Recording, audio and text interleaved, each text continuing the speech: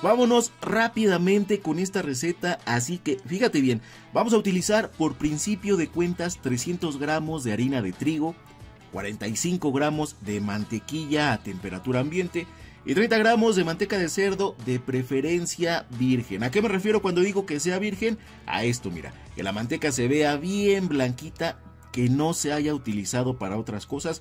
Si tienes una manteca que ya se utilizó para otras cosas, también la puedes usar. Solo ten en cuenta que esto le puede dar un sabor adicional. Entonces, si utilizas manteca limpia es mucho mejor. ¿Qué es lo que vamos a hacer? Vamos a tratar de deshacer todo esto, la manteca junto con la mantequilla, hasta que quede una textura arenosa. Hay quienes utilizan pura manteca de cerdo y sí, también las puedes hacer con pura manteca de cerdo, pero la verdad es que a mí me gusta mucho el sabor y el aroma que les da la mantequilla. Entonces, así, nada más así, fíjate bien con los puros dedos, vamos a empezar a deshacer toda la mantequilla junto con la manteca hasta que se vea más o menos así. Si te das cuenta, pues queda como si fuera una arenita. Entonces, en este momento agregamos 3 cuartos de cucharadita de sal, Voy a hacer esto para acá porque vi una parte bien importante. Esto que tengo aquí, 155 mililitros de agua, agua caliente que se encuentra entre los 70 y 75 grados Celsius, ¿sale? A esta temperatura es a la que yo siempre la utilizo, ya más adelante vas a ver cómo quedan estas tortillas de harina. Se la ponemos de golpe y con mucho cuidado porque el agua está caliente, con las manos bien limpias, ¿eh? siempre acuérdate, sin anillos, sin pulseras o reloj. Vamos a empezar a incorporar todo esto. El agua está muy caliente para que tengas cuidado y lo hagas con mucha precaución. Hasta que te quede más o menos así. El tiempo de amasado son entre unos 5 u 8 minutos. Si no te acomodas aquí donde estás amasando, la puedes poner directo sobre la mesa y ahí terminar de amasar. Por el momento, esta masa ya está lista. ¿Cómo te das cuenta? Cuando ya se te despega de las manos, cuando ya se despega perfectamente bien de aquí donde la estás amasando o de la mesa donde la estés trabajando, quiere decir que ya está. Es una masa un poco aguadita, ligeramente pegajosa, así es mi receta, así es como te debe de quedar. Es la humedad que necesita tener para que las tortillas siempre te queden suaves. Entonces, una vez que tenemos la masa así, ¿qué es lo que vamos a hacer? Nos traemos por acá una báscula y vamos a dividir en bolitas de aproximadamente unos 30 gramos. Gramos más, gramos menos. Una vez pesada la masa, la bajamos a la mesa y empezamos a bolear. ¿Esto para qué? Con el objetivo de que queden bien redonditas, así como esta que tengo aquí. Las vamos acomodando en el mismo refractario en donde amasamos y ahora, si desde este momento las puedes cubrir, algún trapo húmedo, alguna tapa para que no pierdan humedad, mucho mejor. Entonces amigos, así vamos a repetir con toda la masa que tenemos preparada hasta terminar. Al final, así es como se ven, son todas las bolitas que salieron de esta receta.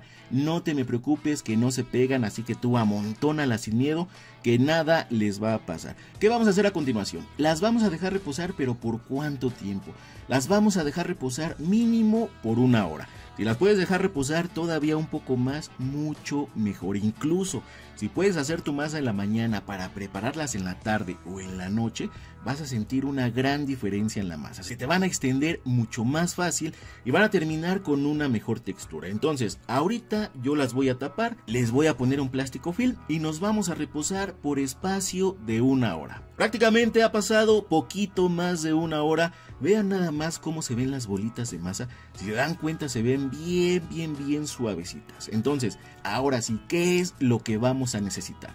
Harina aquí sí en suficiente cantidad y un rodillo o un palito para estirar. Tomamos una de las bolitas de masa, un poco de harina sobre la mesa, harina sobre la misma bolita y vamos a empezar a extender con la mano nada más como si la quisiéramos apachurrar. Esto es solo para ayudarnos antes de empezar con el rodillo. Una vez la tenemos así, esta harina la recorremos, le quitamos el exceso, nos traemos por acá el rodillo y voy a tratar de ir lo más despacio posible para irte explicando cómo lo hago yo para que no pierda tanto la forma, ¿sale? Fíjate, vamos a extender un poco, levantamos el rodillo y damos solamente un pequeño giro, no la vamos a girar 180 grados, ¿sale?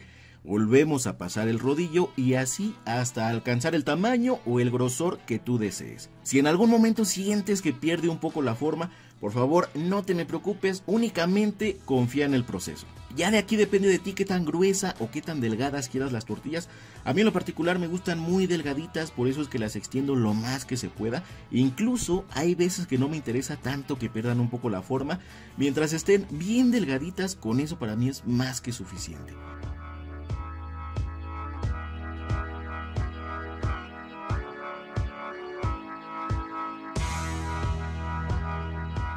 Una vez que la tenemos más o menos así, que ve nada más cómo quedan, ve lo flexible que están y si te das cuenta, pues no se te pegan para nada, ¿eh? Entonces, una vez que las tenemos así, la llevamos directo al comal.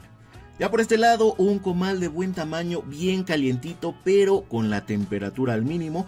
Ponemos la tortilla con mucho cuidado, trata que quede bien extendida y aquí bien importante que estés atento porque si te das cuenta, esto prácticamente de inmediato empieza a cambiar de color. Se le empiezan a formar unas burbujas por la parte de encima, que esta ya casi está, solamente vamos a esperar un poco más, mira que tenga un poco más de burbuja y una vez que esté así la vamos a voltear.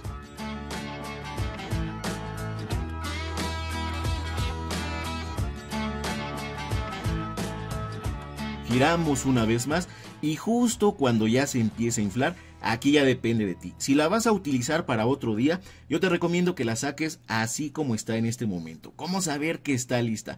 Cuando la tortilla todavía mantiene estas partes como amarillitas, como de otro color, mira, esto que está más blanco ya está bien cocido. Entonces, si la vas a utilizar para otro momento, así como está, la retiras del fuego, la cubres con una servilleta de tela y van directo a una bolsa de plástico en lo que se terminan de enfriar.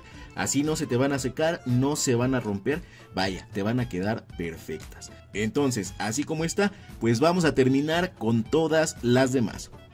Y amigos, pues así como les dije, envuélvanlas en una servilleta de tela, las meten en bolsa de plástico y una vez frías las pueden refrigerar. Vean nada más cómo quedaron y vean la cantidad de tortillas que salieron. Así que pues espero que les haya gustado la receta del día de hoy. Una tortilla de harina deliciosa que no se compara pero en nada con las que venden empaquetadas. Vean la calidad, no se rompen, no se hacen duras. Vaya, están buenísimas para lo que las quieran utilizar. Para unos burritos, para unas sincronizadas para lo que se te ocurra. Espero que les haya gustado la receta del día de hoy. Háganlas en casa, anímense, son muy fáciles de hacer y la verdad es que quedan deliciosas. ¿Te gustó esta receta? ¿Te gustan los videos que subo a este canal? Te recomiendo que te suscribas para que no te pierdas nada del contenido. Activa la campanita para recibir todas las notificaciones cada que yo subo un nuevo video. Y yo te veo en una receta más. Adiós.